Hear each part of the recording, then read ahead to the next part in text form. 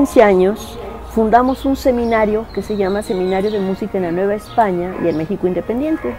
en donde hacemos investigación en los archivos especialmente de música y de historia que hay en las catedrales, en especial en la Catedral de México. Hacemos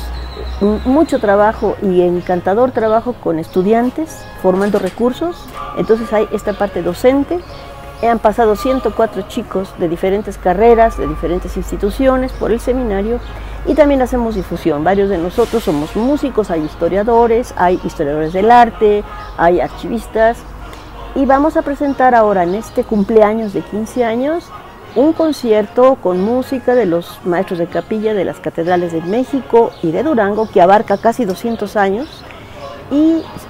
para ello invitamos al Chicago Arts Orchestra. Los conciertos van a ser miércoles, jueves y viernes, primero en Catedral, luego en el Anfiteatro Bolívar y luego en la Sala Nesa. Y hoy inauguramos este cumpleaños, mega cumpleaños, con un taller de interpretación de música galante que se está llevando a cabo en el Auditorio Angélica Morales porque se damnificó la sala Xochipilli de la Facultad de Música. Y es un taller con muchachos, cantantes, estudiantes de la escuela, cantantes independientes, chelistas independientes, algunos alumnos de la FAM, y en donde estamos participando los miembros de la Chicago Arts Orchestra, los solistas que van a, invitados que están ya aquí y los miembros del seminario.